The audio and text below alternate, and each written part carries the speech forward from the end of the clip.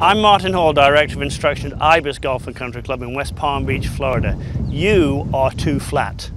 And when you're too flat, making good contact is really difficult. Too flat would mean when you go back, that club gets way too much behind you. If I was going to drop that club, it would come down far too far behind me. Now look, very simple tip. You can do this on the golf course anytime.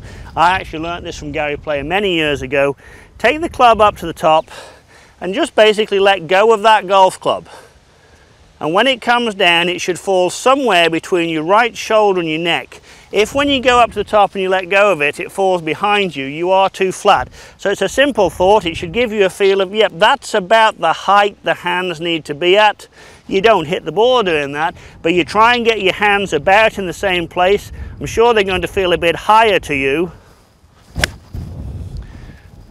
And if you're on the right plane, from start to finish, not too flat, not too upright, you've got a much better chance of the ball going to the target. We all like that.